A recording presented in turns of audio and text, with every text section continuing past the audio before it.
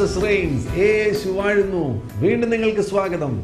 ഈ ശുശ്രൂഷകൾ നിങ്ങൾക്ക് അനുഗ്രഹപ്രദമായി തീരുന്നു എന്ന് വിശ്വസിക്കുന്നു. നിങ്ങളുടെ അകത്തെ മനുഷ്യൻ ശക്തിപ്പെടുന്നു എന്ന് ഞങ്ങൾ വിശ്വസിക്കുകയാണ്.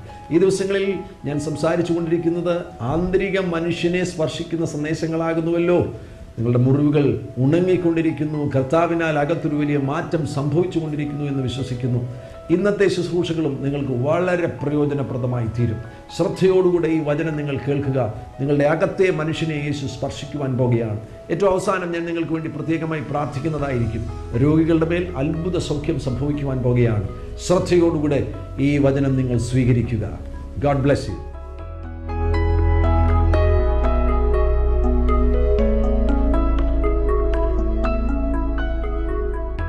ആന്തരിക മുറിവുകളുടെ അടയാളങ്ങൾ എന്ന ചിന്തകളിലേക്ക് നിങ്ങളുടെ ശ്രദ്ധയെ കൊണ്ടുവരുവാൻ ഞാൻ കർത്താവിൽ ശരണപ്പെടുന്നു. ആന്തരിക മുറിവുകൾ. നമുക്ക് ആന്തരിക മുറിവുകൾ ഉണ്ടോ എന്ന് എങ്ങനെ മനസ്സിലാക്കുവാൻ കഴിയും? മനസ്സിലോ ശരീരത്തിലോ ഉള്ള അടയാളങ്ങൾ കൊണ്ട് നമുക്ക് മനസ്സിലാക്കുവാൻ കഴിയും. ഇമോഷണലായിട്ടുള്ള സ്വാധീനങ്ങൾ മുഖാന്തരമായി ഇന്ന് വൈദ്യശാസ്ത്രം പറയുന്നത് എൺപത്തി അഞ്ച് ശതമാനത്തിലധികം രോഗങ്ങളുണ്ട് എന്നാണ് പല രോഗങ്ങളുടെയും പിന്നിൽ വൈകാരിക സംഘർഷങ്ങളാകുന്നു. വികാരങ്ങളുടെ മേഖലയിൽ കുന്നുകൂടിയിരിക്കുന്ന വേദനകളാകുന്നു. അതിന് കാരണമെന്ന് വൈദ്യശാസ്ത്രം കണ്ടെത്തിയിരിക്കുന്നു. ശരീരത്തിലോ അഥവാ മനസ്സിലോ ഉള്ള അടയാളങ്ങൾ കൊണ്ട് നമുക്ക് മനസ്സിലാക്കുവാൻ കഴിയും. നമുക്ക് ഒരു ആന്തരിക സൗഖ്യം ആവശ്യമാണ്. നാം ഒരു ഹോസ്പിറ്റലിൽ ശാരീരിക രോഗവുമായി കടന്നു ചെല്ലുകയാണെങ്കിൽ പരിശോധനകൾക്ക് അവർ വിധേയമാക്കിയതിന് ശേഷമാണ് രോഗനിർണയം നടത്തുന്നത്. എന്നതുപോലെ ഈ ചില പരിശോധനകൾക്ക് നിങ്ങളെ നിങ്ങൾ വിധേയമാക്കുകയാണ് എങ്കിൽ ഈ പറയുന്ന അടയാളങ്ങളിൽ ചിലത് നിങ്ങളുടെ ജീവിതത്തിലുണ്ടോ? ഒരു പരിശോധനയ്ക്ക് നിങ്ങൾ വിധേയമാക്കുകയാണ് എങ്കിൽ നിങ്ങൾക്ക് കണ്ടെത്തുവാൻ കഴിയും. എനിക്ക് ഒരാന്തരിക മുറിവുണ്ടോ ഇല്ലയോ എന്ന്. അങ്ങനെ ഒരു കണ്ടെത്തൽ നിങ്ങൾക്ക് സാധ്യമാകുന്നു എങ്കിൽ വേഗത്തിൽ തന്നെ ആ പ്രതിസന്ധികളെയും പ്രശ്നങ്ങളെയും നിങ്ങൾക്ക് പരിഹരിക്കുവാനും കഴിയും.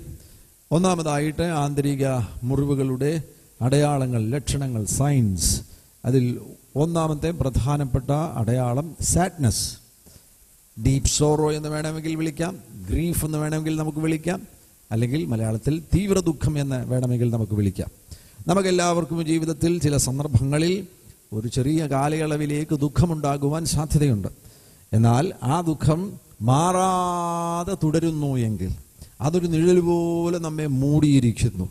അത് നമ്മുടെ ക്രിയാത്മകതയ്ക്ക് തടസ്സമായി തീരുന്നു എന്ന് നിങ്ങൾക്ക് മനസ്സിലാകുകയാണ് എങ്കിൽ അതൊരു ഗ്രീഫായി തീർന്നിരിക്കുകയാണ് ഒരു സാഡ്നെസ് ഒരു ഡീപ്പ് സോറോ ആയി തീർന്നിരിക്കുകയാണ് അതൊരു തീവ്ര ദുഃഖമായി തീർന്നിരിക്കുകയാണ്. അത് വെച്ചുകൊണ്ടിരുന്നു കഴിഞ്ഞാൽ നിങ്ങൾക്ക് നിങ്ങളുടെ വ്യക്തിപരമാകുന്ന ആത്മീക ഭൗതിക ശാരീരിക മേഖലകളിലുള്ള പുരോഗതികൾക്ക് അതൊരു തടസ്സമാണ്. ഇപ്പോൾ പറയുവാൻ തുടങ്ങുന്ന ഈ അടയാളം തുടങ്ങി മറ്റു വരുന്ന അടയാളങ്ങളെല്ലാം തമ്മിൽ തമ്മിൽ ബന്ധപ്പെട്ടിരിക്കുകയാണ്. ഗ്രീഫ് ഒരാളിൽ പ്രവേശിക്കുകയാണെങ്കിൽ അത് അങ്ങനെ തന്നെ തുടരുകയില്ല. അത് വർദ്ധിക്കുവാനിട വരും അത് മറ്റു ചിലതിലേക്ക് മാറി അത് മറ്റു ചിലതായി തീരുവാൻ സാധ്യതയുണ്ട്. ഈ ഗ്രീഫ് ചിലപ്പോൾ ഒരു നഷ്ടത്തെ ചൊല്ലി ഒരു ദുഃഖമുണ്ടാകുവാൻ സാധ്യതയുണ്ട്. എം ബി ബി എസിന് പോകണമെന്ന് ആഗ്രഹിച്ചു. അങ്ങനെ വളരെ കാര്യമായി പഠിക്കുകയാണ് ആത്മാർത്ഥമായി പഠിക്കുകയാണ്. പത്താം ക്ലാസ്സിൽ നല്ല മാർക്കുണ്ടായിരുന്നു. പ്ലസ് വൺ പ്ലസ് ടുവിന് സയൻസ് സബ്ജക്റ്റ് എടുത്തു. വളരെ കഷ്ടപ്പെട്ട് പഠിച്ചു. പക്ഷേ വളരെ നിർഭാഗ്യകരം പ്ലസ് ടുവിൽ ആൾ പരാജയപ്പെട്ടു പോയി. എം ബി ബി എസിന് പോകുവാൻ വേണ്ടിയിരുന്ന കുട്ടിയാണ്. പ്ലസ് ടുവിന് പരാജയപ്പെട്ടു പോയി. അത് വേണമെങ്കിൽ സഹിക്കാൻ കഴിയാത്തൊരു ദുഃഖമായി തീരുവാൻ സാധ്യതയുണ്ട്. എന്തായിരുന്നു പ്രതീക്ഷ? പ്രതീക്ഷ ഒരു വലിയ പ്രതീക്ഷയായിരുന്നു. ആ വലിയ പ്രതീക്ഷയ്ക്കുള്ള ഒരു വലിയ ഒരുക്കമുണ്ടായിരുന്നു. എന്നാൽ അത് സാധ്യമാകാതെ വരുമ്പോൾ ഒരു ഡീപ് സോറോ ആ വ്യക്തിയെ മൂടുവാൻ സാധ്യതയുണ്ട്. അങ്ങനെ ആ ഡീപ് സോറോ ആ വ്യക്തിയെ മൂടുകയാണ് എങ്കിൽ പിന്നീട് ചിലപ്പോൾ പഠിത്തം തന്നെ അവതാളത്തിലായെന്നിരിക്കും. മുന്നോട്ട് പിന്നെ പോകുവാൻ കഴിയുകയില്ല. ഈ പരാജയത്തെ തന്നെ അടുത്ത എക്സാമിന് പരിഹരിക്കുവാൻ കഴിയുമായിരുന്നു. പരിഹരിച്ച് എം ബി ബി എസിന് പോയില്ലെങ്കിൽ പോലും മറ്റു ചില ഡിഗ്രികൾ എടുക്കുവാൻ കഴിയുമായിരുന്നു. എന്നാൽ ഈ ഡീപ് സോറ വന്നതോടുകൂടി ഈ കുട്ടിക്ക് പഠിക്കുവാനേ കഴിയാത്ത നിലയിൽ മുൻപോട്ടുള്ള പുരോഗതിക്ക് എല്ലാം ഇതൊരു തടസ്സമായി തീരുകയാണ്. ഡീപ് സോറോ വ്യക്തിപരമാകുന്ന ജീവിതത്തിൽ പുരോഗതിക്ക് ഒരു തടസ്സമാണ്. വിവാഹത്തിന് വേണ്ടിയുള്ള ക്രമീകരണങ്ങളെല്ലാമായി ആലോചന വന്നു ഉറച്ചു. അങ്ങനെ ചെറുക്കനും പെണ്ണും തമ്മിൽ കണ്ടു. ചെറുക്കന്റെ വീട്ടുകാരോട് വലിയ താല്പര്യമായി പെണ്ണിന് ചെറുക്കനെ വളരെ ഇഷ്ടപ്പെട്ടു. കല്യാണം നടക്കുവാൻ പോവുകയാണ് വളരെ സന്തോഷമായി. കൂട്ടുകാരെ എല്ലാം അറിയിച്ചു എല്ലാ ക്രമീകരണങ്ങളും ചെയ്തു വസ്ത്രമെല്ലാം എടുത്തു എൻഗേജ്മെന്റിന്റെ ഡേറ്റ് തീരുമാനിച്ചു. അങ്ങനെ എൻഗേജ്മെന്റ് അടുത്തു വരികയാണ്. നാളെ എൻഗേജ്മെന്റ് തലേ ദിവസം ചെറുക്കന്റെ വീട്ടുകാർ വിളിച്ചു പറയുകയാണ് കല്യാണത്തിൽ നിന്ന് ഞങ്ങൾ പിൻവാങ്ങുകയാണ്. ചില കാരണങ്ങൾ കൊണ്ട് ഞങ്ങൾക്ക് ഈ കല്യാണവുമായി മുന്നോട്ട് പോകുവാൻ കഴിയുകയില്ല. ആ കുട്ടിയിൽ ചിലപ്പോൾ മൂടുന്ന ദുഃഖം മാറാത്ത ദുഃഖമാകും ഒരു തീവ്ര ദുഃഖമാകും ഒരു ഡീപ് സോറോ ആകും അത് വേണമെങ്കിൽ അവളുടെ ഭാവിക്ക് മുഴുവൻ ഒരു വലിയ തടസ്സമായി ഒരു പർവതമായി ഒരു മതിലായി തീരുവാൻ സാധ്യതയുണ്ട്. ഡീപ് സോറോ ആരുടെയെങ്കിലും ജീവിതത്തിൽ അല്പമായിട്ടെങ്കിലും നിങ്ങൾക്കത് മനസ്സിലാകുന്നുണ്ടെങ്കിൽ നിങ്ങളുടെ പ്രതീക്ഷ എക്സ്പെക്റ്റേഷൻ അനുസരിച്ച് നിങ്ങളുടെ സ്വപ്നങ്ങൾക്ക് അനുസരിച്ച് നിങ്ങൾ ചിലത് കണ്ടില്ല. അതിനെ ചൊല്ലി നിങ്ങൾക്കൊരു ഡീപ് സോറോ ഉണ്ടെങ്കിൽ അതിൽ നിന്ന് യേശുവിൻ നാമത്തിൽ പുറത്തു വരണം. തീവ്രദുഃഖത്തിന്റെ അംശം ഒരു നിഴൽ പോലെ നിങ്ങളിൽ ആരെങ്കിലും മൂടിയിട്ടുണ്ടെങ്കിൽ ദയവായിട്ട് യേശുവിൽ നിങ്ങൾ വിശ്വാസം അർപ്പിച്ച് അതിൽ നിന്ന് നിങ്ങൾ പുറത്തു വരണം. നമ്മുടെ നേട്ടങ്ങളുടെ അടിസ്ഥാനത്തിലല്ല ദൈവം നമ്മെ അംഗീകരിക്കുന്നത്. മാനുഷികമാകുന്ന നിലയിൽ മറ്റുള്ളവർ വിലയിരുത്തുമ്പോൾ നാം ഒരു പരാജയമാകുന്നു എന്ന് അവർ വിലയിരുത്തിയാൽ പോലും കർത്താവിന്റെ കണ്ണിന്റെ മുൻപിൽ നീ ഒരു വിജയിയായിരിക്കും. കാരണം മാനുഷികമാകുന്ന നിലവാരത്തിലല്ല ദൈവം നിന്നെ വിലയിരുത്തുന്നത്. അച്ചീവ്മെൻസിന്റെ അടിസ്ഥാനത്തിലല്ല ദൈവം നിന്നെ അംഗീകരിക്കുന്നത്. തന്റെ പുത്രൻ കാൽവറി ക്രൂസിൽ എന്തു ചെയ്തു? അതിന്റെ അടിസ്ഥാനത്തിലാണ് കർത്താവ് നിന്നെ വിലയിരുത്തുന്നത് കർത്താവ് നിന്നെ അംഗീകരിക്കുന്നത്. തീവ്ര ദുഃഖത്തിൽ നിന്ന് മുന്നോട്ട് പോയി കഴിഞ്ഞാൽ രണ്ടാമതായിട്ട് സെൽഫ് പിറ്റി ആരിലെങ്കിലും പെയിൻ വേദന തിങ്ങി നിൽക്കുന്നുണ്ടെങ്കിൽ ആ വേദനയെ നിങ്ങൾ പുറത്തെടുക്കണം റിലീസ് ചെയ്യണം. യഥാർത്ഥത്തിൽ ആന്തരിക സൗഖ്യ ശുശ്രൂഷ എന്ന് പറയുന്നത് തന്നെ നമ്മുടെ ഹൃദയത്തിലെ കല്ലുപോലെ ഇരിക്കുന്ന പല കാര്യമില്ലാത്ത അല്ലെങ്കിൽ ആവശ്യമില്ലാത്ത കാര്യങ്ങളെയും പുറത്തെടുത്ത് കളഞ്ഞതിന് ശേഷം ആ ഇടങ്ങളെ മുഴുവൻ ദൈവസ്നേഹം കൊണ്ട് നിറയ്ക്കുന്ന ശുശ്രൂഷയാണ് ആന്തരിക സൗഖ്യ ശുശ്രൂഷ. തീവ്ര ദുഃഖത്തിന്റെ പശ്ചാത്തലത്തിൽ നിന്ന് ഉള്ളിൽ വേദന കയറിയവർ ആരെങ്കിലും ഉണ്ടെങ്കിൽ ആ വേദനകളെ പുറത്തെടുക്കണം. തീവ്ര ദുഃഖത്തിൽ നിന്ന് മുന്നോട്ട് പോവുകയാണെങ്കിൽ അടുത്ത ഒരു അടയാളം നമുക്ക് കാണാൻ കഴിയുന്നുണ്ട്. സെൽഫ് പിറ്റി ആന്തരികമാകുന്ന മുറിവുകളുള്ളവർക്ക് സാധാരണ കാണുന്ന ഒരടയാളമാണ് സ്വയ സഹതാപം എന്ന് പറയുന്നത്. അവരവർക്ക് അവരവരെ നോക്കുമ്പോൾ സഹതാപം തോന്നുന്നു. Self pity is supported by thinking only of us and no one else നമ്മിലേക്ക് കേന്ദ്രീകരിച്ചുകൊണ്ട് ചിന്തകൾ എനിക്കിങ്ങനെ വന്നു പോയല്ലോ എന്റെ ജീവനം ഇങ്ങനെയായി പോയല്ലോ ഞാൻ ഈ കുടുംബത്തിൽ ജനിച്ചല്ലോ ഞാൻ ഈ രാജ്യത്തിൽ ജനിച്ചല്ലോ സ്വയകേന്ദ്രീകൃതമായി സ്വയോന്മുഖ ഭാവത്തിൽ ജീവിക്കുകയും അതിനെ ചൊല്ലി പരിതപിക്കുകയും തങ്ങളുടെ അവസ്ഥകളെ ചൊല്ലി പരിതപിക്കുകയും ചെയ്യുന്നത് ഒരു സെൽഫ് പിറ്റിയുടെ അടയാളമാണ്. നിങ്ങൾ ചിലപ്പോൾ നിങ്ങൾക്കുള്ള വേദനകളെ ചൊല്ലി നിലവിളിക്കാറുണ്ട് നെഞ്ചത്തടിച്ച് കരയാറുണ്ട്. അത് സെൽഫ് പിറ്റിയുടെ ഒരടയാളമാണ്. നിങ്ങൾ സംസാരിക്കുന്നത് കേൾക്കുമ്പോൾ നിങ്ങൾക്ക് സെൽഫ് പിറ്റി ഉണ്ടോ ഇല്ലയോ എന്ന് ഈ മേഖലയിൽ പരിചയമുള്ള ഒരു വ്യക്തിക്ക് മനസ്സിലാക്കുവാൻ കഴിയും. എനിക്ക് എന്നോട് തന്നെ ഒരു തോന്നുന്ന സഹതാപം എനിക്കൊരു ആശാഭംഗം വരുമ്പോൾ ഞാൻ എന്നെ നിഷേധാർത്ഥകമാകുന്ന നിലയിൽ ആശ്വസിപ്പിക്കുന്നു.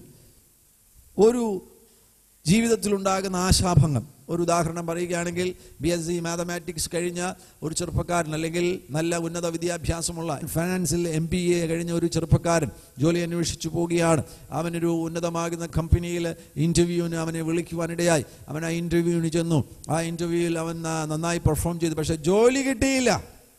ജോലി കിട്ടാതെ അവൻ ഇറങ്ങി വരുമ്പോൾ അവൻ അവനെ തന്നെ നിഷേധാർത്ഥകമാകുന്ന നിലയിൽ ആശ്വസിപ്പിക്കുക. എന്നാലും നിന്നെ കൊള്ളത്തില്ലടാ. നീ ഈ വീട്ടിലല്ലേ ജനിച്ചത്? ആ വീട്ടുകാരെല്ലാം ശപിക്കപ്പെട്ടതാടാ. നീ ഇന്ന ഗ്രാമത്തിൽ നിന്നല്ലേ വരുന്നത്? അവിടെയുള്ളവരെല്ലാം ശപിക്കപ്പെട്ടവരാടാ. അതുകൊണ്ടാണ് നിനക്ക് ഈ ജോലി കിട്ടാത്തത്. ഇനി എവിടെ പോയാലും നിനക്ക് ജോലി കിട്ടുകയില്ല എന്ന് നിഷേധാർത്ഥകമായ നിലയിൽ ആ ചെറുപ്പക്കാരൻ അവനെ ആശ്വസിപ്പിക്കുകയാണെങ്കിൽ അതാണ് സെൽഫ് പിറ്റി എന്ന് പറയുന്നത്. സെൽഫ് പിറ്റി ഇല്ലാത്ത ഒരു ചെറുപ്പക്കാരനാണെന്നുണ്ടെങ്കിൽ ജോലി ലഭിച്ചില്ലെന്നുണ്ടെങ്കിൽ അവൻ പറയും ഈ കമ്പനിക്കാർക്ക് എന്നെ കിട്ടാനുള്ള ഭാഗ്യമില്ല. വേറെ ഏതോ നല്ല കമ്പനിക്കാർ എനിക്ക് വേണ്ടി കാത്തിരിക്കുകയാണ്. അവന് സെൽഫ് പിറ്റിയില്ല അവന്റെ മുൻപിൽ വന്നിരിക്കുന്ന ആശാഭംഗത്തെ ചൊല്ലി അവൻ സ്വയസഹതാപമുള്ളവനല്ല നിഷേധാർത്ഥകമാകുന്ന നിലയിലല്ല അവൻ അവനെ ആശ്വസിപ്പിക്കുന്നത്. ഈ ഭാഗത്ത് ഏറ്റവും പ്രധാനപ്പെട്ടത് നമ്മുടെ ചിന്താരീതിയാണ്. എന്തുകൊണ്ടാണ് ഒരു വ്യക്തിയിൽ സെൽഫ് പിറ്റി വരുന്നത്? വളരെ വ്യക്തം. ആ വ്യക്തിയുടെ ചിന്താരീതി തോട്ട് പാറ്റേൺ നെഗറ്റീവാണ് നെഗറ്റീവായിട്ടുള്ള ഒരു തോട്ട് പാറ്റേൺ ആ വ്യക്തിയിൽ ഉള്ളത് കൊണ്ടാണ് ആ വ്യക്തിക്ക് നോക്കുമ്പോൾ I am good for nothing എന്നെ ഒന്നിനും കൊള്ളുകയില്ല. എന്റെ ജീവിതം ഇങ്ങനെയായി പോയല്ലോ ഞാൻ ഈ ഈ പട്ടണത്തിൽ ഇങ്ങനെ വളരെ പരിതാപകരമാകുന്ന അവസ്ഥയിൽ ജീവിക്കുന്നുവല്ലോ. സ്വയസഹതാപത്തിന് ആ വ്യക്തി അടിമയായി തീരും സ്വയസഹതാപത്തിൽ നാം ജീവിക്കേണ്ടവരല്ല. നിങ്ങൾ യേശുവിനെ ശ്രദ്ധിച്ചാൽ മതി. യേശു കാൽവറി ക്രൂശിൽ കിടക്കുകയാണ്. യേശു ഏഴു പ്രാവശ്യം ക്രൂശിൽ കിടന്ന് സംസാരിക്കുന്നുണ്ട്. സ്വയസഹതാപത്തിന്റെ ഒരു പ്രസ്താവനയെങ്കിലും യേശു അവിടെ തന്റെ ആധാരത്തിൽ നിന്ന് പുറപ്പെടുവിക്കുന്നുണ്ടോ? ഇല്ല. അതാണ് യേശുവിന്റെ അധരത്തിന്റെ പ്രത്യേകത എന്ന് പറയുന്നത്. ക്രൂശിൽ കിടക്കുമ്പോൾ തന്നെ യേശു ആദ്യം പറയുന്നത് ഇവർ ചെയ്യുന്നത് ഇന്നതെന്ന് ഇവർ അറിയായി കൊണ്ട് ഇവരോട് ക്ഷമിക്കണമേ. ക്രൂശിൽ കിടക്കുമ്പോഴും കർത്താവിന് മറ്റുള്ളവരെ കുറിച്ചുള്ള കൺസേൺ ആണ്. കർത്താവ് മറിയ അമ്മ അവിടെ നിൽക്കുന്നത് കണ്ടു കഴിഞ്ഞപ്പോൾ യോഹന്നാനോട് പറയുകയാണ് ഇതാ നിന്റെ അമ്മ. അഥവാ ക്രൂശിൽ കിടക്കുമ്പോഴും കർത്താവ് എന്റെ വേദന എന്റെ ജീവിതം എന്റെ കുരിശ് എന്റെ തലയിലെ മുൾക്കിരീടം. യേശു പറഞ്ഞില്ല. യേശുവിനെ അനുഗമിക്കുന്ന നമ്മുടെ അധരത്തിൽ നിന്നും സ്വയസഹതാപത്തിന്റെ പ്രസ്താവനകളോ പ്രവർത്തികളോ ഉയരരുത്. ആമേൻ. പകരം ഏതു സമയത്തും വിശ്വാസം പുറപ്പെടുവിക്കുവാൻ നിങ്ങൾ തയ്യാറാകണം. ആമേൻ. വിശ്വാസം നിങ്ങൾ പുറപ്പെടുവിക്കുകയാണെങ്കിൽ ദൈവത്തിന്റെ വചനത്തിൽ പറഞ്ഞിരിക്കുന്നത് പോലെ വിശ്വസിക്കുന്നവന് സകലവും സാധ്യമാണ്. ഏതു വലിയ പ്രതിസന്ധി നിങ്ങളുടെ മുൻപിൽ നിൽക്കുകയാണെങ്കിലും വിശ്വസിക്കുന്നവന് സകലവും സാധ്യമാണ്. ആ നിലവാരത്തിലുള്ളവരായി നാം ജീവിക്കണമെന്നാണ് കർത്താവ് നമ്മെക്കുറിച്ച് ആഗ്രഹിക്കുന്നത്. തീവ്ര ദുഃഖം ആന്തരിക മുറിവുകളുടെ അടയാളമാണ്. സ്വയസഹതാപം ആന്തരിക മുറിവുകളുടെ അടയാളമാണ്. മൂന്നാമത് സെൽഫ് ഹെയ്റ്റ്രഡ് സ്വയവിരോധം. ഒരു വ്യക്തിയിൽ അല്പമായിട്ടുള്ള ഗ്രീഫ് വന്നു. ആ ഗ്രീഫിന് ശേഷമായിട്ട് അല്പമായിട്ട് സ്വയസഹതാപമായി സ്വയസഹതാപം വന്നു കഴിഞ്ഞാൽ സെൽഫ് ഹെയ്റ്റഡ് ഉണ്ടാകും. അയാൾക്ക് അയാളോട് വിരോധമാണ്. നിങ്ങളിൽ ആരെങ്കിലും ഇങ്ങനെ ചിന്തിച്ചിട്ടുണ്ടോ? ഞാൻ എന്തിനാ ഈ ഭൂമിയിൽ ജനിച്ചത്? അത് സ്വയവിരോധത്തിന്റെ ഒരു അടയാളമാണ്. വിനയപുരസ്വരം ഞാൻ ഓർപ്പിക്കട്ടെ. നീ ഒരബദ്ധമല്ല. നിന്റെ ഈ ഭൂമിയിലെ ജന്മം എന്ന് പറയുന്നത് ഒരാക്സിഡന്റ് അല്ല ദൈവത്തിന്റെ കൃത്യമാകുന്ന പദ്ധതിയിൽപ്പെട്ട വ്യക്തിയാണ് നീ. അതുകൊണ്ടാണ് ഇന്ന് രാത്രിയിൽ നീ ഇവിടെ ഇരിക്കുന്നത്. നീ ജനിച്ചതിന് ഭൂമിയിൽ നീ ജനിച്ചതിന് ദൈവത്തിന് വ്യക്തമാകുന്ന ഉദ്ദേശമുണ്ട്. നീ ആരുടെയും അബദ്ധമല്ല. നിന്നെക്കുറിച്ച് ദൈവത്തിന് വ്യക്തമാകുന്ന പ്ലാൻ ഉള്ളതിനാൽ നീ സ്വയ വിരോധത്തിൽ ജീവിക്കേണ്ട കാര്യമില്ല. ഈ സ്വയവിരോധം വരുന്ന സന്ദർഭത്തിലാണ് നെഗറ്റീവ് ഫീലിങ്സ് അബൌട്ട് ദംസെൽസ് അവരെക്കുറിച്ച് നെഗറ്റീവ് ഫീലിങ്സ് ഉണ്ടാവും. അങ്ങനെ സ്വയവിരോധമുള്ളവർ കണ്ണാടിയിൽ പോയി നോക്കിക്കഴിഞ്ഞാൽ അവരുടെ തലമുടി അവർക്ക് ശരി ഇഷ്ടപ്പെടത്തില്ല. കണ്ണ് അവർക്ക് ഇഷ്ടപ്പെടത്തില്ല. മൂക്ക് അവർക്ക് ഇഷ്ടപ്പെടത്തില്ല. ഈ യൗവന പ്രായത്തിലുള്ള പ്രത്യേകിച്ചും പെൺകുട്ടികൾക്ക് ഈ പ്രശ്നമുണ്ടാകുവാൻ സാധ്യതയുണ്ട്. ഈ മുഖം ഇഷ്ടപ്പെടുന്നില്ല അവരുടെ നടപ്പ് അവർക്ക് ഇഷ്ടമില്ല അവരുടെ സംസാരം അവർക്ക് ഇഷ്ടമില്ല നെഗറ്റീവ് ഫീലിങ്സ് അബൌട്ട് ദംസെൽസ് അത് മുഖാന്തരമായി ലോ സെൽഫ് എസ്റ്റീം ഉണ്ടാകും. അവരെക്കുറിച്ച് തന്നെയുള്ള വിലയിരുത്തൽ വളരെ മോശമായ നിലവാരം കുറഞ്ഞ വിലയിരുത്തൽ അവരിൽ ഉണ്ടാകുവാൻ സാധ്യതയുണ്ട്. ആ നിലവാരം കുറഞ്ഞ വിലയിരുത്തൽ വരുമ്പോൾ അവർ റിജക്റ്റിംഗ് വൺ സെൽഫ് അവരെ തന്നെ അവർ തിരസ്കരിക്കുവാൻ തുടങ്ങും. അങ്ങനെ അവരെ തന്നെ തിരസ്കരിക്കുവാൻ തുടങ്ങുമ്പോൾ സെൽഫ് കണ്ടംനേഷൻ ഉണ്ടാകും. അവർ ചെയ്യുന്ന കാര്യങ്ങളെക്കുറിച്ച് അവർ അവരെ തന്നെ കുറ്റം വിധിക്കുവാൻ തുടങ്ങും.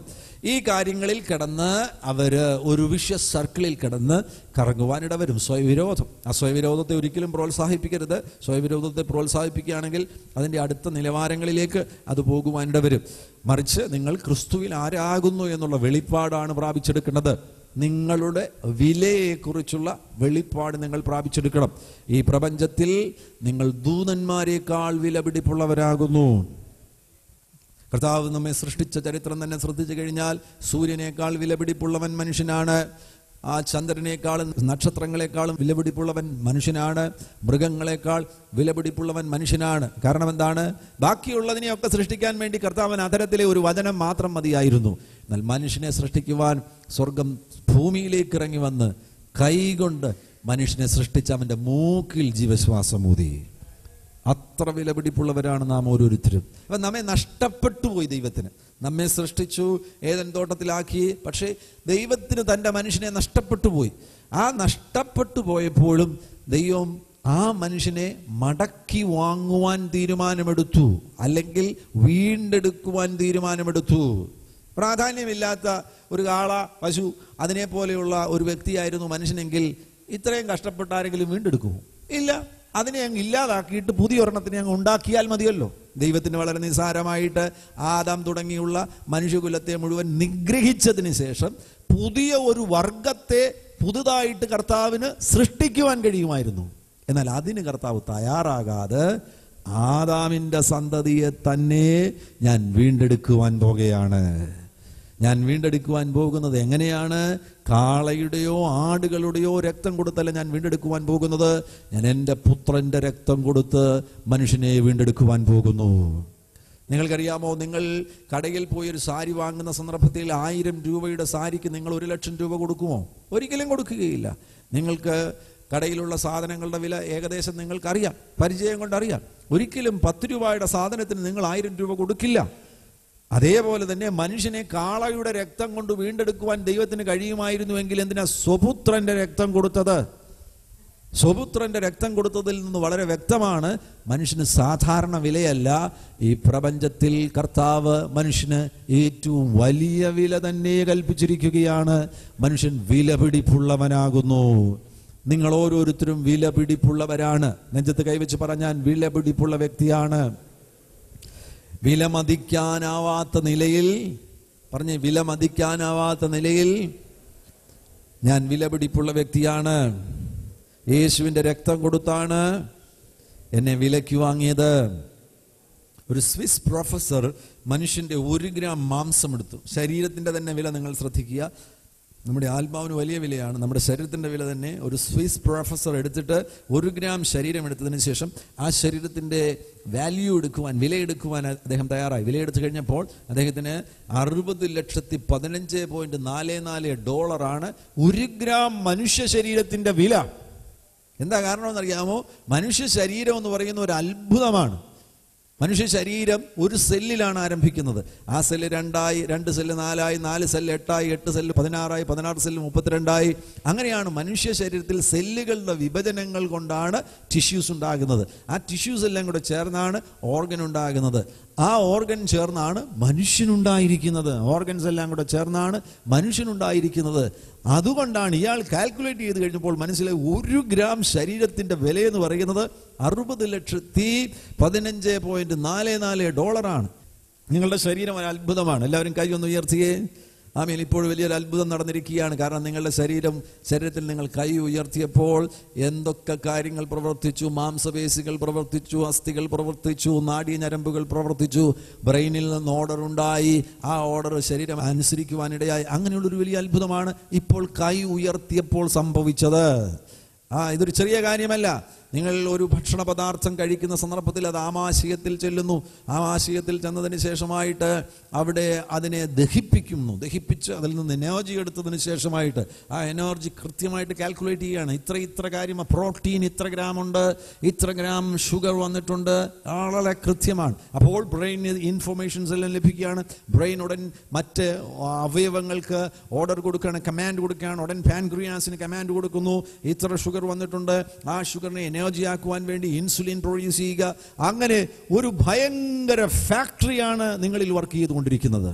മനുഷ്യർക്ക് ആർക്കും ഉണ്ടാക്കുവാൻ കഴിയാത്ത ഈ പ്രപഞ്ചത്തിൽ എങ്ങും കാണുവാൻ കഴിയാത്ത ഒരു സഞ്ചരിക്കുന്ന ഫാക്ടറി ആയിട്ട് പ്രവർത്തിക്കുന്ന ഒരു അത്ഭുതമാണ് ഇവിടെ ഇരിക്കുന്ന നിങ്ങൾ ഓരോരുത്തരും. അത്ര വിലപിടിപ്പുള്ളവരാകുന്നു നിങ്ങൾ എന്നതിനാൽ സ്വയവിരോധത്തിൽ നിന്ന് നിങ്ങൾക്ക് പുറത്തു വരുവാൻ കഴിയും. സ്വയവിരോധത്തിൽ നിങ്ങൾ ജീവിക്കേണ്ട കാര്യമില്ല. സ്വയവിരോധത്തിൽ നിങ്ങൾ ജീവിക്കുകയാണെങ്കിൽ മെല്ലെ മെല്ലെ അത് വർദ്ധിച്ച് അതിന് അതിന്റെ പരിണിത ഫലമായിട്ട് മെല്ലെ മെല്ലെ ചില സന്ദർഭങ്ങളിൽ മരണചിന്തകളൊക്കെ ഹൃദയത്തിൽ വരാൻ തുടങ്ങും. പ്രാണൻ അതിനെ പ്രോത്സാഹിപ്പിക്കുവാൻ തുടങ്ങും. അതിന്റെ ആവശ്യമില്ല. പകരമായിട്ട് നിങ്ങൾ ക്രിസ്തുവിൽ ആരാകുന്നു എന്ന ബോധത്തോടുകൂടെ മനുഷ്യൻ വിലപിടിപ്പുള്ളവനാകുന്നു എന്ന വെളിപ്പാടോടുകൂടെ വളരെ അനുഗ്രഹിക്കപ്പെട്ടൊരു ജീവിതം നിങ്ങൾക്ക് നയിക്കാൻ കഴിയും. അനേകർക്ക് നിങ്ങൾ ഒരു അനുഗ്രഹമായി തീരും. നിങ്ങളെ ഒരു അനുഗ്രഹത്തിന്റെ ചാനലാക്കി കർത്താവ് മാറ്റുവാൻ ആഗ്രഹിക്കുകയാണ്. മറ്റൊരു അടയാളമാണ് അപകർഷ ബോധം എന്ന് പറയുന്നത്. തീവ്ര ദുഃഖം സെൽഫ് പിറ്റി സെൽഫ് ഹേറ്റ്രഡ് ഇത്രയൊക്കെ ഉണ്ടാകുമ്പോൾ അതിനോട് ചേർന്ന് വരുന്ന മറ്റൊരു അടയാളമാണ് ഇൻഫീരിയോറിറ്റി അപകർഷ ബോധം അപകർഷ ബോധം എന്ന് പറയുന്നത് മിസ്റ്റേക്കൻ കൺക്ലൂഷൻ ഓഫ് ദംസെൽഫ് തങ്ങളെക്കുറിച്ചുള്ള തെറ്റായ നിഗമനങ്ങളാണ്. അപകർഷബോധം പലരിലും അപകർഷബോധമുണ്ട്. I am not good looking I am too fat അങ്ങനെയുള്ള പല അപകർഷബോധവും പലരിലുമുണ്ട് ഇപ്പോൾ ചില കള്ളപ്രവാചകന്മാരുണ്ട്. നമ്മുടെ ജീവിതത്തിൽ ചില കള്ളപ്രവാചകന്മാർ കടന്നു വരും വീട്ടിൽ ചിലപ്പോൾ അമ്മയായിരിക്കും നിങ്ങളുടെ ഒരു കള്ളപ്രവാചകി. അല്ലെങ്കിൽ സ്കൂളിലെ ഒരു അധ്യാപികയായിരിക്കും. സ്കൂളിലെ അധ്യാപിക നീ മാത്സിന്റെ ഏഴാം ക്ലാസ്സിൽ മാത്സിന്റെ എക്സാം എഴുതിയതിന് ശേഷം നിനക്ക് അല്പം മാർക്ക് കുറഞ്ഞു കഴിഞ്ഞപ്പോൾ നിന്നെ നോക്കിയിട്ട് സ്കൂളിലെ അധ്യാപിക പറഞ്ഞു യൂസ്ലെസ് ഒരിക്കലും നീ കണക്കിന് നന്നാകത്തില്ലടാ. അവൾ കള്ളപ്രവചനമാണ് നടത്തിയത്. പക്ഷേ ആ കള്ളപ്രവചനം നിന്റെ ഉള്ളിൽ കയറി നീ ഇപ്പോഴും മാത്സ് എന്ന് കേൾക്കുമ്പോൾ നിന്റെ കാലുകൂട്ടി ഇടിക്കുകയാണ്. അറിയാതെ നിന്നെ ആ മേഖലയിൽ അപകർഷതയുള്ള വിദ്യാഭ്യാസ മേഖലയിൽ അപകർഷതയുള്ള ഒരു വ്യക്തിയാക്കി നിന്നെ തീർത്തിരിക്കുകയാണ്. അല്ലെങ്കിൽ നിന്റെ അമ്മ നിന്നോട് കൂടെ കൂടെ തമാശന് വേണ്ടിയായിരിക്കും പറയുന്നത്. എടാ നിന്റെ മൂക്ക് കണ്ടാൽ കുരങ്ങിന്റെ മൂക്ക് പോലെയാണല്ലോടാ.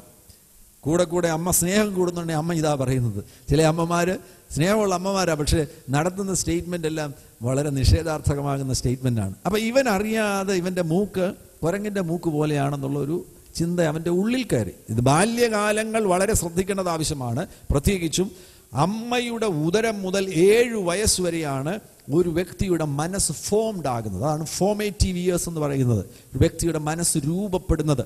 ഒരു ശരീരം രൂപപ്പെടുന്നതിന് പതിനെട്ട് വയസ്സ് ഇപ്പോൾ ഇരുപത്തൊന്ന് വയസ്സ് വരെയൊക്കെ നീളം ഉണ്ടാ ഓക്കെ പതിനെട്ട് വയസ്സ് കൊണ്ടാണ് ഒരാളുടെ ശരീരം പൂർണമായിട്ടും വളരുന്നത്. അതിനുശേഷം ശരീരത്തിന്റെ നീളമോ അസ്ഥികൾക്ക് വലിപ്പമോ കൂടുവാൻ ഇടവരില്ല. ഏ പക്ഷെ മനസ്സ് വളരുന്നത് ഏഴു വർഷം കൊണ്ട് അങ്ങ് തീരും. ഏഴു വർഷം കൊണ്ട് ദൈവം ഉദ്ദേശിക്കുന്ന ഷേപ്പ് മനസ്സിന് ഉദ്ദേശിക്കുന്ന ഷേപ്പ് ഈ കുപ്പിയുടെ ഷേപ്പിൽ ഈ വ്യക്തിയുടെ മനസ്സാക്കണമെന്നാണ് ദൈവം ഉദ്ദേശിച്ചത്. അമ്മയുടെ ഉദരം മുതൽ ഏഴ് വയസ്സ് വരെ ഉള്ള സമയം കൊണ്ടാണ് ഇത് ഫോംഡ് ആകുന്നത്. പക്ഷേ ഈ ഏഴു വയസ്സിന്റെ ഉള്ളിൽ ഈ കുട്ടി കേട്ടതും കണ്ടതും നേരിട്ടതുമാകുന്ന കാര്യങ്ങളുടെ പശ്ചാത്തലത്തിൽ ഈ കുട്ടിയുടെ മനസ്സിന്റെ ഷേപ്പ് ഈ നിലയിലായി. അപ്പോൾ കണ്ടില്ലേ ഒറിജിനൽ ഷേപ്പിലേക്ക് ഇതിന് പോകുവാൻ കഴിയാത്ത നിലയിൽ ഈ നിലയിലായിപ്പോയി. ഏഴ് വയസ്സായപ്പോഴത്തേനും മനസ്സ് ഫോംഡായി പക്ഷേ മനസ്സിപ്പോൾ എങ്ങനെ ആയിരിക്കുന്നത് ദൈവം ഉദ്ദേശിച്ച നിലയിൽ ഈ മനസ്സിനെ കർത്താവിന് ഫോം ചെയ്യുവാൻ കഴിഞ്ഞില്ല. ഈ കുട്ടിയുടെ മനസ്സ് ആ ഫോമേറ്റീവ് ഇയേഴ്സിൽ ഇങ്ങനെ ആയിപ്പോയി അതുകൊണ്ട് പതിനാറാം വയസ്സിൽ സംഘർഷം ഇരുപത്തിരണ്ടാം വയസ്സിൽ സംഘർഷം കല്യാണം കഴിഞ്ഞിട്ട് സംഘർഷം കുട്ടിക്ക് പരിഹരിക്കാൻ കഴിയുന്നില്ല. എന്താണ്? ഇത് രൂപപ്പെടേണ്ട സമയത്ത് രൂപപ്പെടേണ്ടതുപോലെ രൂപപ്പെട്ടില്ല. ഇനി എന്തു ചെയ്യും? യേശുവിന്റെ അടുക്കൽ വാ. അതിനെ പഴയ ഒറിജിനൽ ഷേപ്പിലേക്ക് മടക്കി കൊണ്ടുവരുവാൻ ഈ പ്രപഞ്ചത്തിൽ പഴയ നിലവാരത്തിലേക്ക് ഈ ഒറിജിനൽ ഷേപ്പിലേക്ക് മടക്കി കൊണ്ടുവരുവാൻ ഒരു സൈക്കാട്രിസ്റ്റിനും കഴിയത്തില്ല ഒരു ഗുളികയ്ക്കും കഴിയത്തില്ല. അതിനെ ഒറിജിനൽ ഷേപ്പിലേക്ക് മടക്കി കൊണ്ടുവരുവാൻ യേശു പ്രാപ്തിയുള്ളവനാണ്. അപകർഷബോധത്തിൽ ജീവിക്കേണ്ട കാര്യമില്ല. അപകർഷബോധം വരുന്നവർ അവർക്ക് നാണം കൂടുതലാകാൻ സാധ്യതയുണ്ട്. അവർ വിഡ്രോ വിഡ്രോയിങ് ഫ്രം റെസ്പോൺസിബിലിറ്റീസ്. ഉത്തരവാദിത്തങ്ങളിൽ നിന്ന് അവർ പിൻവലിയുവാൻ സാധ്യതയുണ്ട്. പാർട്ടിസിപ്പേഷൻസിൽ നിന്നും അവർ പിൻവലിയുവാൻ സാധ്യതയുണ്ട്. അവർക്കൊരു ഓപ്പർച്യൂണിറ്റി വരുന്നു. ചിലയിടങ്ങളിൽ പാർട്ടിസിപ്പേറ്റ് ചെയ്യാൻ വേണ്ടി അവർക്ക് ഈ അപകർഷബോധം ഉണ്ടെങ്കിൽ അവർ പിൻവാങ്ങുവാൻ ഇടവരും. അപകർഷബോധമുള്ളവർക്ക് പൊതുവായിട്ട് നമുക്കറിയാമല്ലോ ജനത്തെ അഭിമുഖീകരിക്കുവാൻ അവർക്ക് ബുദ്ധിമുട്ടുണ്ട്. ഈ അപകർഷബോധം വരുന്നവർക്ക് ഇന്റർവ്യൂവിനെയൊക്കെ നേരിടുവാൻ വേണ്ടി വളരെ ബുദ്ധിമുട്ടുണ്ടാകും. വളരെ കേപ്പബിൾ ആയിട്ടുള്ള ഒരു മകനാണ്. പക്ഷേ അവന് ഈ അപകർഷബോധം മതി. ഇൻഫീരിയോറിറ്റി പ്ലസ് ഇൻഫീരിയോറിറ്റി വന്നു കഴിഞ്ഞാൽ തൊട്ട് ജ്യേഷ്ഠനും അനിയനും പോലെ വേറൊരാളുടെ കയറി വരും unbelief inferiority plus unbelief it destroys your confidence നിങ്ങളുടെ കോൺഫിഡൻസിനെ അത് നഷ്ടമാക്കി കളയും. ഇൻഫീരിയോറിറ്റി പ്ലസ് അൺബിലീഫ് നിങ്ങൾക്കറിയാമോ? നിങ്ങൾക്ക് ഒത്തിരി സ്കിൽസ് ഒരുപാട് എബിലിറ്റീസ് ആൻഡ് സ്കിൽസ് എല്ലാം നിങ്ങൾക്കുണ്ട്.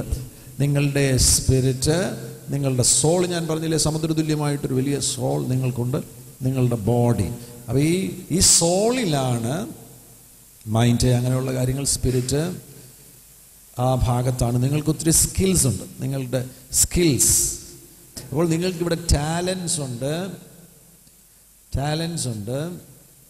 സ്കിൽസ് ഉണ്ട്. ഈ ടാലൻസ് സ്കിൽസ് ടാലൻസ് എന്ന് പറയുന്നത് ബൈ ബേർത്ത് കിട്ടുന്നതാണ് ടാലൻസ് എന്ന് പറയുന്നത്. ജന്മനാ കിട്ടുന്നതാണ് ടാലൻസ് എന്ന് പറയുന്നത്. ഇവിടെ ഒരുപാട് സ്കിൽസ് ഉണ്ട്. നിങ്ങൾ ചിലപ്പോൾ കമ്പ്യൂട്ടറിൽ നിങ്ങളൊരു നല്ല പ്രോഗ്രാമർ ആയിരിക്കും അല്ലെങ്കിൽ ഏതെങ്കിലും ഒരു സ്കിൽ ഉണ്ടായിരിക്കാം.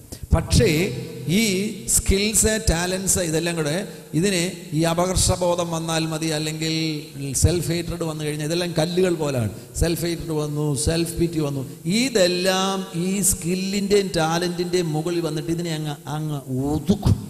ഒതുക്കിയിട്ട് നിങ്ങൾക്ക് ഇതിനെ പുറപ്പെടുവിക്കേണ്ട സമയത്ത് പുറപ്പെടുവിക്കാൻ കഴിയത്തില്ല. എന്തും മുകളിൽ കയറി ഇരിക്കുകയാണ് ഈ സ്കില്ലിന്റെയും ടാലൻസിന്റെയും എല്ലാം മുകളിൽ ഈ കല്ലുകൾ പോലെ അപകർഷബോധവും സെൽഫ് പിറ്റിയും സെൽഫ് ഹേറ്റഡും ഒക്കെ കയറിയിരിക്കുകയാണ്. കൊച്ചം വളരെ മിടുക്കനാണ്. മറ്റുള്ളവരെക്കാട്ടിലും ഉന്നതമാകുന്ന ഒരു പൊസിഷനിൽ എത്തിച്ചേരണവനാണ് നല്ല ജോലിയിൽ എത്തിച്ചേർന്നവനാണ് പക്ഷേ അവൻ ഇന്റർവ്യൂ ബോർഡിനെ അഭിമുഖീകരിക്കുന്നതിനെ ഉള്ളത് ഉള്ളിലുള്ളതൊന്നും പുറപ്പെടുവിക്കാൻ കഴിയുന്നില്ല. അവൻ എത്തേണ്ട ഇടത്തെത്തുവാൻ കഴിയുന്നില്ല. എന്താ സംഭവം? സംഭവം ഇതിന്റെ മുകളിൽ ഈ സ്കിൽസിന്റെയും ടാലൻസിന്റെയും മുകളിൽ ഇരിക്കുകയാണ് ഈ സാധനം. ഇവനെ അടിച്ച് നിങ്ങൾ പുറത്താക്കുകയാണ് എങ്കിൽ നിങ്ങളിലുള്ള ആ സ്കിൽസിനെയും ടാലൻസിനെയും നിങ്ങൾക്ക് പുറത്തെടുത്ത് നിങ്ങൾക്ക് പ്രയോജനമുള്ളവരായി തീരുവാൻ കഴിയും. ഒരുമിച്ച് നമുക്ക് പ്രാർത്ഥിക്കാം. പ്രിയ പിതാവേ യേശുവിൻ നാമത്തിൽ ഈ പ്രിയപ്പെട്ടവർക്ക് വേണ്ടി പ്രാർത്ഥിക്കുന്നു. അങ്ങ് ഞങ്ങളുടെ വേദനകളെ ചുമന്നതിനായി സ്തോത്രം ചെയ്യുന്നു. ഞങ്ങളുടെ മുറിവുകളെ സൗഖ്യമാക്കിയതിനായി സ്തോത്രം ചെയ്യുന്നു. ഈ പ്രിയപ്പെട്ടവരെ അങ്ങ് സ്പർശിക്കുന്നുവല്ലോ. അങ്ങയുടെ അത്ഭുതകരം അവരുടെ മേൽ വെളിപ്പെടുന്നതിനായി സ്തോത്രം ചെയ്യുന്നു. ചിലരുടെ ഉള്ളിലുള്ള നിരാശ വിഷാദ രോഗം അവരെ ഇപ്പോൾ യേശുവിൻ നാമത്തിൽ വിട്ടുപോകുന്നു. യേശുവിൻ നാമത്തിൽ ബാല്യകാലം തുടങ്ങിയുള്ള മുറിവുകൾ ഇപ്പോൾ യേശുവിൻ നാമത്തിൽ അവരുടെ അബോധ തലങ്ങളിൽ നിന്ന് പുറത്തു പോകുകയാണ്. യേശുവിൻ നാമത്തിൽ മനസ്സിന്റെ മണ്ഡലത്തിൽ അത്ഭുതങ്ങൾ സംഭവിക്കുന്നു. അവരുടെ വികാരങ്ങളെ അങ്ങ് സൗഖ്യമാക്കുന്നതിനായി സ്തോത്രം ചെയ്യുന്നു. അവരുടെ ഓർമ്മകളെ അങ്ങ് സൗഖ്യമാക്കുന്നതിനായി സ്തോത്രം ചെയ്യുന്നു. ചില ഓർമ്മകളെ ആ ഓർമ്മകൾ മുഖാന്തരമായി പീഡനം അനുഭവിക്കുന്നവർ ഇപ്പോൾ യേശുവിൻ നാമത്തിൽ സൗഖ്യമാകട്ടെ. അവരുടെ മനസ്സുകളെ കർത്താവ് സൗഖ്യമാക്കി അവരുടെ വ്യക്തിത്വത്തെ ക്രിസ്തുവിൽ ശക്തമാക്കുന്നതിനാൽ അങ്ങക്ക് നന്ദി പറയുകയാണ്. അതുമാത്രവുമല്ലല്ലോ കർത്താവെ അവരുടെ ശരീരങ്ങളെ അങ്ങ് തൊടുന്നതിനായി സ്തോത്രം ചെയ്യുന്നു. യേശുവിൻ നാമത്തിൽ ഇപ്പോൾ തന്നെ രോഗികൾ സൗഖ്യമാകുകയാണ്. വളരെ വ്യക്തമായി യേശുവിന്റെ സാന്നിധ്യം എനിക്ക് അനുഭവിക്കുവാൻ കഴിയുന്നുണ്ട്. നിങ്ങളായിരിക്കുന്ന മുറികളിൽ യേശു നിങ്ങളെ സ്പർശിക്കുന്നു. കണ്ണുകളിൽ രോഗം അനുഭവിക്കുന്നവർ കാഴ്ച ശക്തിയിൽ ബുദ്ധിമുട്ട് അനുഭവിക്കുന്നവർ ഇപ്പോൾ യേശുവിൻ നാമത്തിൽ സൗഖ്യമാകട്ടെ. ത്വക്ക് സംബന്ധമാകുന്ന രോഗങ്ങൾ ത്വക്കുകളിൽ ഐ മീൻ സ്കിന്നുകളിൽ പാച്ചസ് ഉള്ള വ്യക്തികൾ ഇപ്പോൾ യേശുവിൻ നാമത്തിൽ നിങ്ങൾ സൗഖ്യമാകുക. ഞാൻ ഈ പ്രാർത്ഥിച്ചുകൊണ്ടിരിക്കുന്ന നിമിഷത്തിൽ തന്നെ ഹൃദയത്തിൽ പരിശുദ്ധാത്മാവ് ബോധ്യം തരുന്നു. ശുശ്രൂഷയിലായിരിക്കുന്ന ഒരു അഭിഷക്തൻ ഇപ്പോൾ ഈ വചനം കേട്ടുകൊണ്ടിരിക്കുന്നു. നിങ്ങളുടെ മേൽ ഇന്ന് ഒരു വലിയ മാറ്റം സംഭവിക്കുകയാണ്. ശുശ്രൂഷയിൽ കർത്താവ് അടുത്ത തലത്തിലേക്ക് നിങ്ങളെ ഉയർത്തുന്നു. അഭിഷേകത്തിന്റെ ഒരു പകർച്ച ഇപ്പോൾ നിങ്ങൾ സ്വീകരിക്കുക. അത്ഭുതങ്ങൾ സംഭവിക്കുന്നതിനായി സ്തോത്രം. അത്ഭുത രോഗ സൗഖ്യം ഇപ്പോൾ സംഭവിക്കുന്നതിനായി സ്തോത്രം. യേശുവിൻ നാമത്തിൽ കേട്ടുകൊണ്ടിരിക്കുന്ന സകല രോഗികളും സൗഖ്യമാകട്ടെ. കർത്താവ് അവരെ തൊട്ട് സൗഖ്യമാക്കുന്നതിനായി സ്തോത്രം ചെയ്യുന്നു. സകല മഹത്വവും സ്തുതിയും സ്തോത്രവും ഞങ്ങൾ അങ്ങേക്കർപ്പിക്കുകയാണ്. യേശു ക്രിസ്തുവിൻ നാമത്തിൽ തന്നെ.